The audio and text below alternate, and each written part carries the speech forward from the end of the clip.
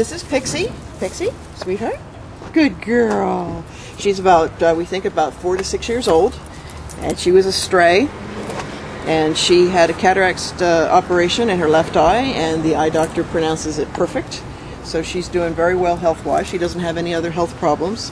She's uh, very lively. She lives with six other dogs right now, so she obviously gets along with other dogs as long as they understand that she's the boss.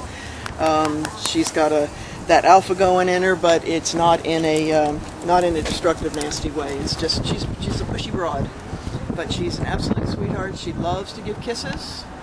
She just loves it. She loves to snuggle with you, and she just she just needs love and she needs attention. But she'll give plenty back. Plenty back.